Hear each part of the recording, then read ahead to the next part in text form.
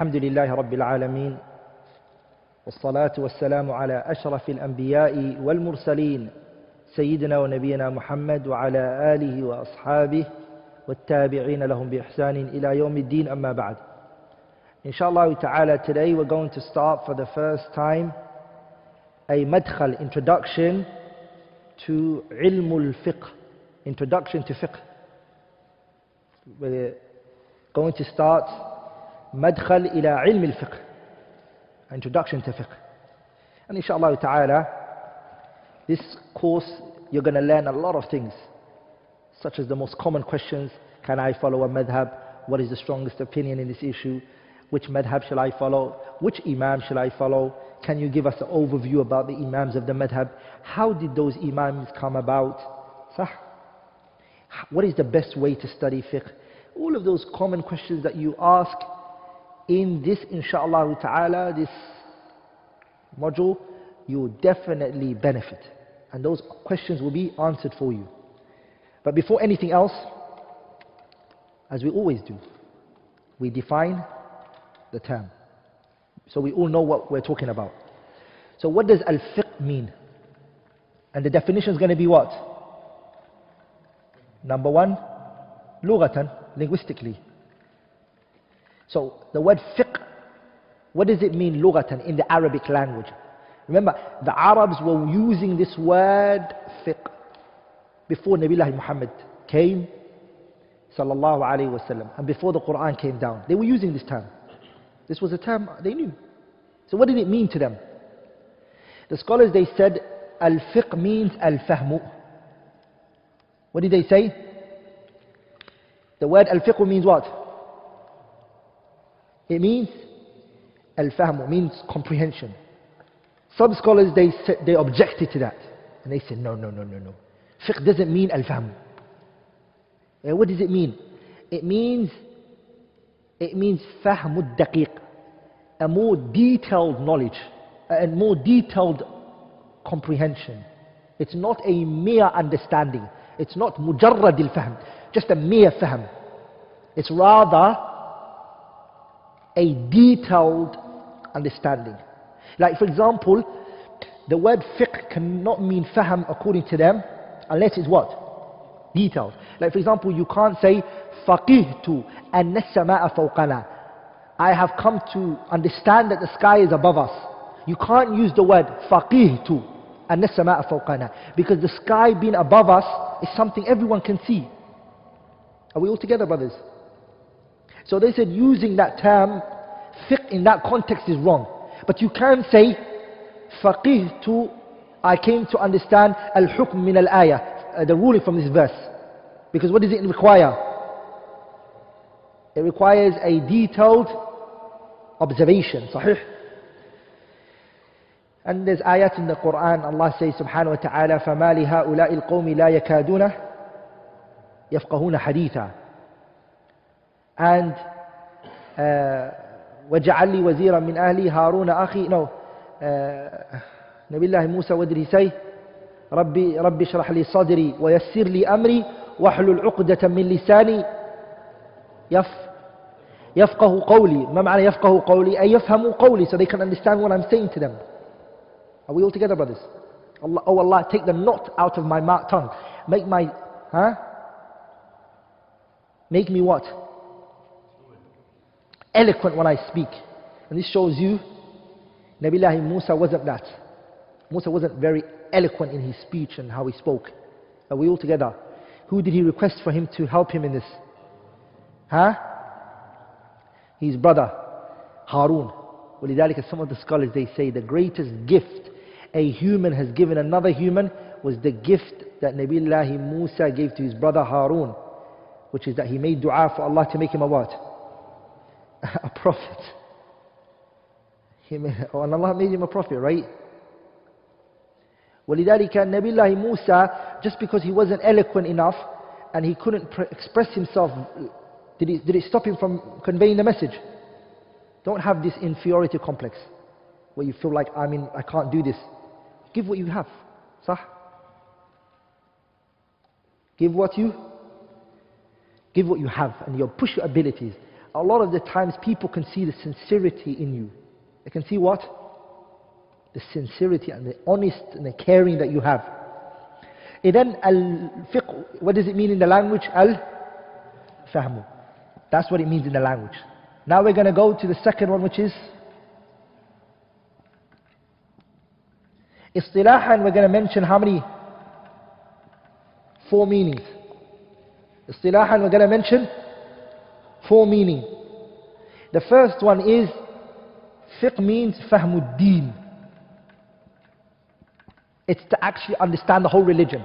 The whole entire religion is fiqh.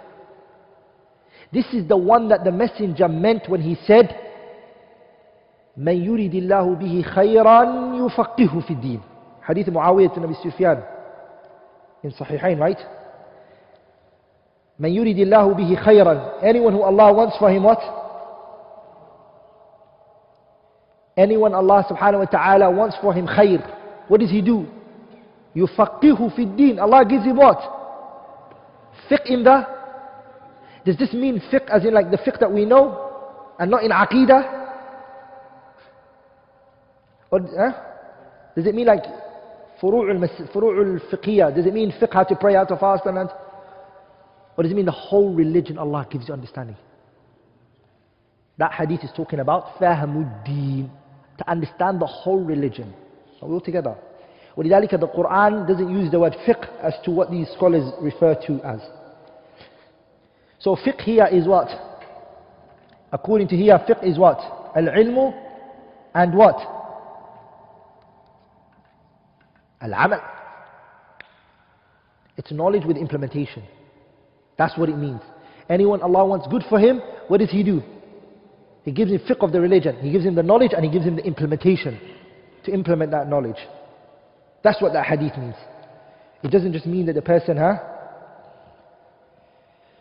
ولذلك فضيل بن عياض look what he said when فضيل بن عياض defined fiqh what did he say إنما الفقيه the true faqih is الذي أنطقته الخشية what made him speak is the conscious and the fear of Allah when he spoke he spoke with khashya you see وأسكتته الخشية when he went quiet the fear and the khashya of Allah made him silent إذا قال قال بالكتاب والسنة if he speaks he speaks with the Quran and the Sunnah وإن سكت if he's silent سكت بالكتاب والسنة he's silent because of the kitab and the sunnah وإن اشتبه عليه شيء if something is ambiguous, he can't tell which is which.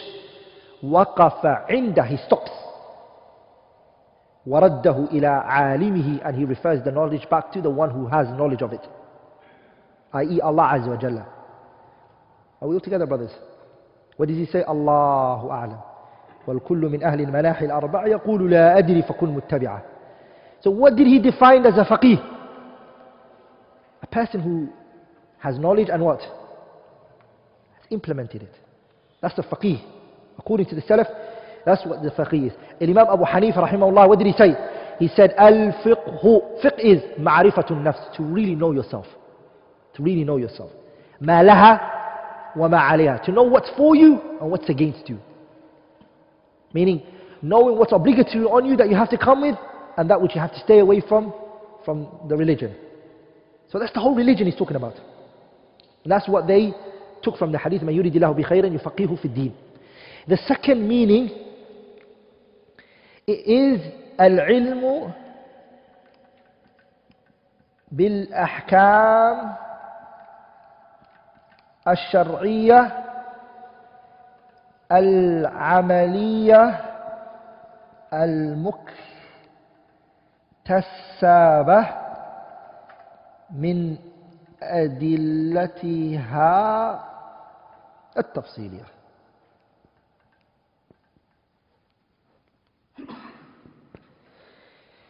The second meaning of the word fiqh is in accordance to the definition of who?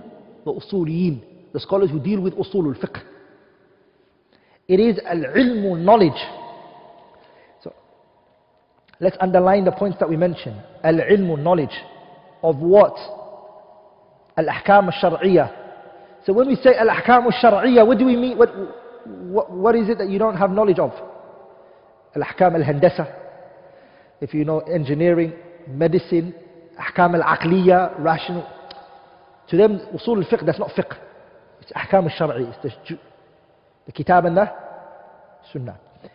Al-amaliya here means what? Fiqh. Al-amaliya here means what? That which is not aqidah. Aqidah is ilmiya, it's not amaliya. Are you with me, brothers? So here, amaliya means what? Practical things, which is fiqh. طهارة صلاة زكاة صوم حاج نكاح، الزواج الطلاق. We all together? المكتسبة means that came by way of istimbat how did it come to you? By way of istimbat what does istimbat mean? You looked at the Quran you looked at the Sunnah and you extracted the ruling from it. Meaning you did ijtihad. What did you do? Then according to the usuliyin, fiqh is not, if a scholar says to you, this is halal, you can't say, I have fiqh of this issue. Why? Because it's not muktasabah. You didn't do istinbat for it. Are you with me, brothers? So this is not called fiqh, this is called taqleed, blind blind following. Are we all together, brothers? How many things did I mention? First of all, it's knowledge. So it's, you're not ignorant. It's ahkam shar'iyya, it's jurisprudent rulings, meaning i.e. the Quran and the Sunnah. Three, it's amali, meaning it's what we call fiqh. I'm studying fiqh. Are we all together, brothers? فروع المسائل طهارة صلاة زكاة صوم عبادات and mu'amalat that the books of fiqh talk about it's عملية it's not علمية علمية is عقيدة Uh, uh, it's not then the usuliyin, when they say fiqh, are they talking about aqidah? No, they're not. Al-muktasaba. Muktasaba means what? Was brought by way of what? Istimbat. Min adillatiha tafsiliya. Adillati tafsiliya means what? It's brought out from specific evidence. The evidence are two types. The adillah, how many types? Comprehensive evidences That's one. And the second one is, um, so the first one is comprehensive evidences, and the second one is detailed. Detailed evidence. Here it deals with what? Detailed evidence. So this one is detailed evidence it's not comprehensive evidence. Which one deals with comprehensive evidence is usul al-fiqh. Adilla ijmaliyah is which one? Usul al-fiqh. Usul al-fiqh is comprehensive evidence. Like in fiqh, it only deals with detailed evidence. Okay. The third definition is exactly the same as this one. Exactly. Push it down. Get rid of the word what? Al-Muqtasaba. Just get rid of that word. It's the same. This is the definition of the fuqaha. The fuqaha, they define fiqh as what? It's knowledge of the ahkam of the sharia, al-amaliyah, which is the practical side. They don't believe it's muktasaba. They believe if a Scholar says to you, La yajuz, you have fiqh. Are we all together, brothers? So they got rid of that word. Min adillati tafsiliyah, the rest is the same. So it's, you have this, you have this, you have this, and you also have this. This is what you don't have. It's, you don't have to do your independent reasoning. You don't have to look at the evidence yourself. So that's the fourth, uh, sorry, the third. The fourth one is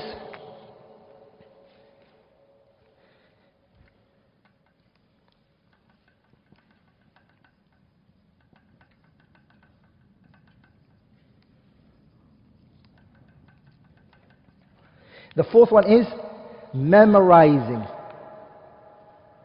a fiqh book. فروع الفقهية like درر البهية memorizing متن أبي الشجاع الزبد ياقوت النفيس منهاج you know عمدة السالك وعدة الناسك لابن النقيب المصري like memorizing a text, fiqh textbook this is called fiqh are we all together brothers الفروع by Ibn Muflih and others like that. You memorize a furu' fiqhiyah book. These four are called what? Fiqh. It's called what? It's called fiqh. The person who attains this is called a what? Faqih. Are we all together, brothers? It's called a. Here, some scholars they said, okay, but that's not fair. Hey, what's not fair? You said he has knowledge of the ahkam of the Sharia. Are you trying to imply that this person has to know all of the ahkam of fiqh? What about if he says, if he says in an issue, la adri? Then that means according to you he's not a faqih. Does that make sense? You said al-ilmu bil-ahkam al-shar'iyyah. If he says in an issue, la adri, I don't know, he hasn't got knowledge of the ahkam al-shar'iyyah, so in other words, he's not a faqih, and then no one's a faqih in the face of this earth. Sah? Are we all together? Because no one can meet this definition. Am I making sense here? No? Yes? Are you sure? Remember I said when I defined fiqh, I said it means to have knowledge of the ahkam of the sharia. This means fiqh, right? And the person is called a what? Faqih. So saying that he has knowledge of the ahkam of the sharia, then does that mean he can't say to any issue that's asked, I don't know? Does that make is it more sense now? Because we know there's al-ihatatu lillah. Only Allah Azza wa Jalla has knowledge of everything. Sah? Who's the only one who knows everything? وَفَوْقَ كُلِّ ذِي عِلْمٍ عَلِيمٍ Allah is the only one who knows everything. We, we, there's a lot of issues we don't know. Are you with me, brothers? So, the scholars, they went back on the definition again and they said it means the ilm is two types. A knowledge which he has on the spot. It means that he has knowledge on the spot, meaning he's asked a question, he gives a spontaneous response. And also, if he says, give me time. But give me time here doesn't mean he's going to take a year to respond to an issue. But it means that he's going to go home. He's already got the instrument that's required from him. He's got the elements he just needs to organize his thoughts. He can come back one or two days back and say to you, listen, the ruling in this issue is this, this, this, this. Does that make sense? Does that make sense? They said that's also a knowledge as well. The fact he can go back to the books. Because the one who doesn't know even doesn't know where to start from. He's going to say, where should I look into? Because he doesn't know anything. Like in the alim is going to say, okay, let me look into this issue. Yeah, I'll look into it. But he knows where to start from knows where to look into. He has qawa'id already in his head. He's got evidences that he needs to start from. He's got a base that he's going to build his argument on. That's also what? Knowledge. Now we've understood that. Now we've what? We've understood. Another issue that we need to go into which is um, al-khilaf, difference of opinion. These are things that we need to get, get like get it clear and understand these. We're going to now speak about the concept of uh, al-khilaf. Hey, Ahmed, can I trouble you again? We're now going to go into khilaf. The concept of khilaf, brothers, it has a big place in our religion. Oh yes, especially in fiqh. Are we all together? It has a what? A big position. So you have to know khilaf. Which one of it's permissible, what is not permissible, what's the khilaf, how is the khilaf. Because this is something you find a lot of people go overboard with. Some people are very rigid on issues and they say, we can't have no difference of opinion. Khalas, they close all doors uh, and that's not correct. And another group of people, everything for them is akhi, difference of opinion. No, it's all difference of opinion. To the extent sometimes issues which are usuluddin, the foundations of religion is what? Like, you know, we, we see where they're coming from, we know where they, and it becomes the whole religion, there's nothing. Everything is difference of opinion. Are you with me, brothers? I had a conversation with a brother not long ago, and I was telling him something. Everything I ask him, he said, it's subjective, it's how you look at it, it depends on who you ask. Ajib. And then I said to him, is there no concrete like, is there nothing that's brutal, correct? He goes, it depends who you ask that question to again. A'udhu billah. And then there's, to these people, there's no muhkam. صح? Remember when we took nas in usul al-fiqh? Within the religion, there's things that which are nas, which are لا يحتمل تأويل. It can't take any other interpretation. It's just قل هو الله أحد. صح? Like there's things in our religion which we say, look, this is brutal reality. You can't go out of this one. This is, this is it. And there's لا شك there are issues which are اختلفت, اختلفت فيه الأنظار. Observations of scholars have differed. So what is khilaf? We have to understand it. Or else we'll become, we'll go all over the place. So let's look at the word uh, khilaf. What is the word? What does the word khilaf mean? So it means عدم الاتفاق. In the Arabic language it means لغة it means it means عدم الاتفاق. It's not agreeing. Khilaf means what? It's not to agree. So in other words, you say to a person, أنا أخالفك في هذا الأمر.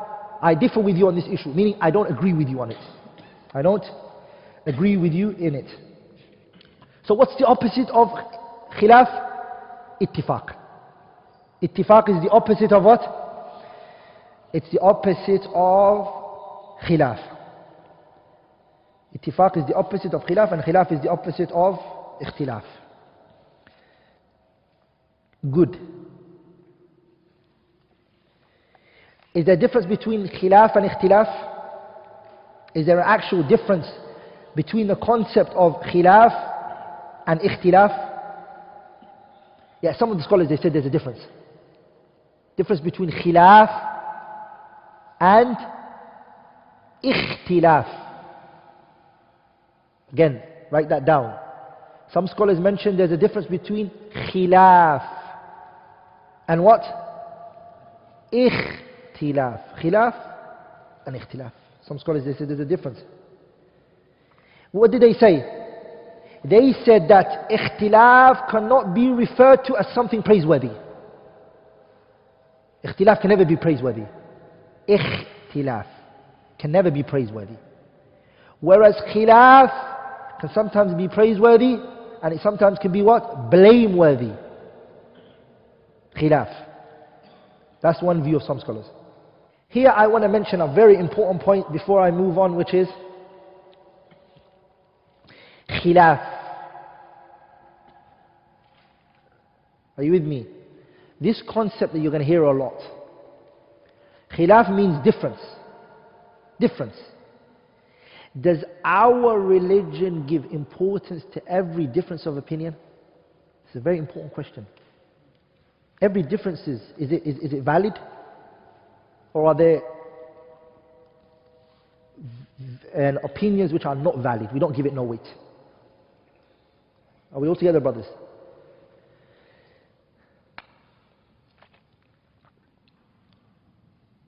You hear this concept which is لا إنكار في مسائل لا إنكار في مسائل الخلاف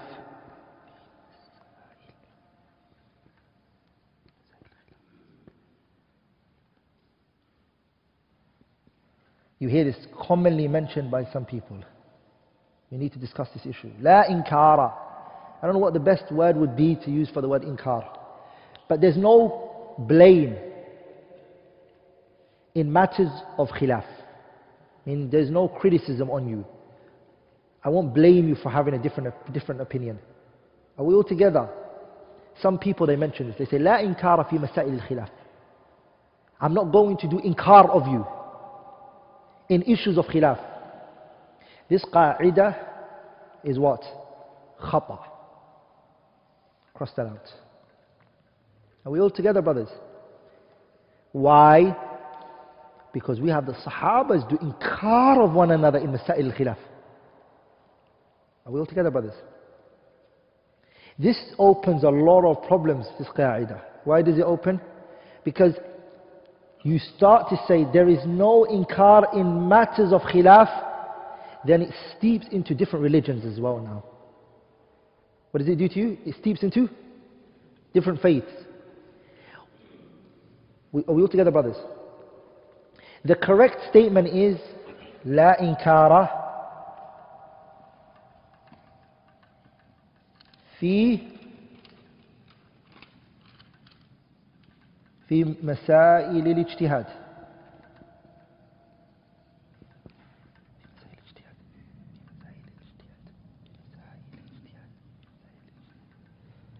This is correct. And the Sahih. What's the difference between the two? The first one he said no inkar in masail khilaf. This one said no inkar in masail ijtihad. What's the difference? Ijtihad means there's no evidence. Both parties are not holding on to evidence. Both parties are not. there's no evidence here. Both parties are using independent reasoning. What are they using? Ijtihad. There's no nas. No one has text over the other. In this situation, what do we say? One man's voice is not stronger than another man's voice. Are we all together, brothers?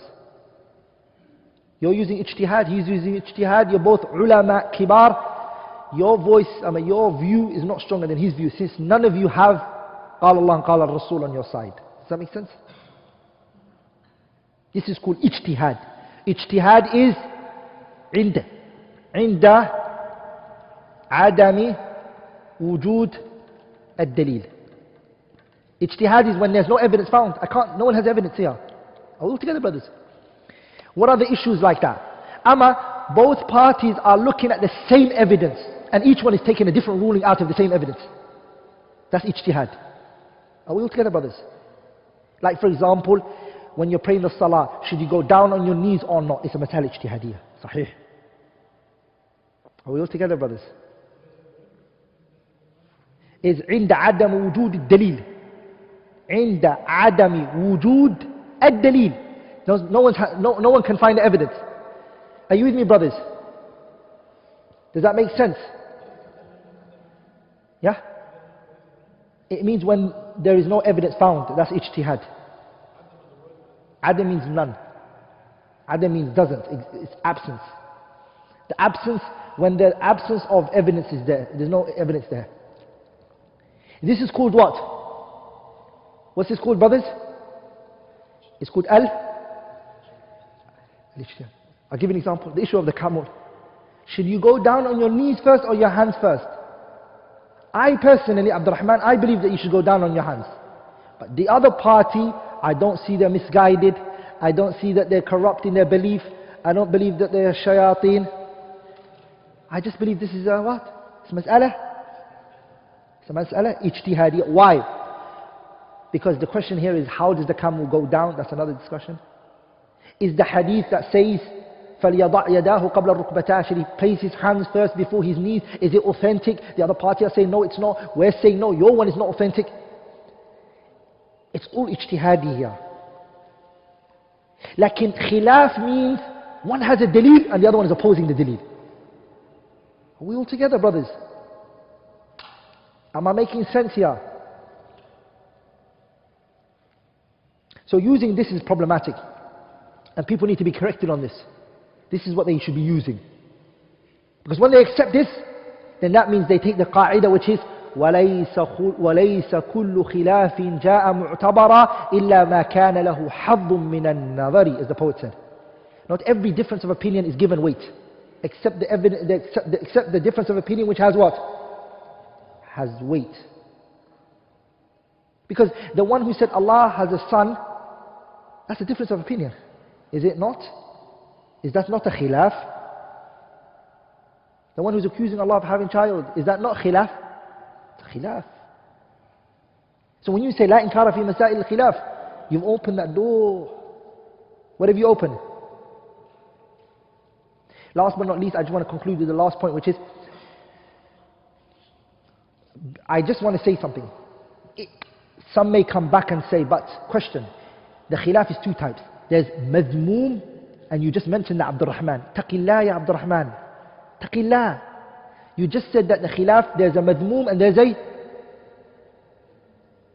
there's a madmoom and there's a mahmud. A praiseworthy and a blameworthy. The khil- ijtihad is in which one? So here I say you're right. That's true. But because this word carries both meaning, get rid of it and just use this one. Sahih. And this is one of the signs of the people of the Sunnah. They leave off words which are ambiguous, that can carry more than one meaning. And they go for words which are what? Ijtihad takes only Mahmud. Are we all together, brothers? Like in the Khilaf can take the Madmum and they can take the Mahmud. Which one do you mean? Are we all together, brothers? So using this is khata. Are we all together? So I categorize the Khilaf into how many types? Madmum and Mahmud. Last categorization, and I want to leave it there, which is the last type of categorization is Khilaf at-tanawwu'. And the second one is Khilaf at-tadad. Khilaf al-tanawwu' and Khilaf al-tadad. What's the difference between it? Khilaf al-tanawwu' is the khilaf of differences. I don't know what word to use. Huh? Variation, we use that. That was the word we used in our um, usul tafsir. It's the khilaf of variation. Meaning, both parties, you can bring them together. Both parties, it's like tomato and tomato. Do you see the difference? Tomato and tomatoes. It's how you say it's the same thing. All together. The cup is half full or half empty. Yeah? It's the same thing, right? It's the same. That's khilafu tanawwu'. That's what? Khilafu. One person stands here, he says, Ya Allah. The other one stands here, he said, Ya Ar-Rahman. Is there khilaf here? Oh, there is khilaf. One called on Allah, one called on. So there is khilaf. But is it difference of that I can't reconcile between the two? I can bring them together. They're both calling on to who? One, Allah Azza. So this is called khilaf al-tanawwu'. Second one is called ikhtilaf al-tadad. And what was the definition we get, the translation? Huh? Yeah, so it's the khilaf of contradiction. One is saying black and one is saying white. One is saying right, one is saying left. One is saying tall, one is saying short. They are opposites to each other. It's the khilaf of opposition. Two opposites. Tadad means it's two opinions, you can't bring them together. Are we all together, brothers?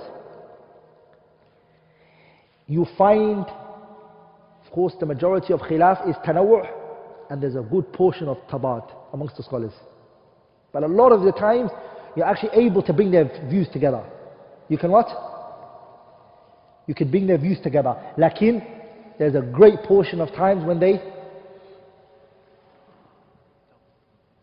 We'll speak about all of this in great, great detail, insha'Allah ta'ala, when we go into the different madhabs and where they go different. Insha'Allah ta'ala. We've done what we needed for today.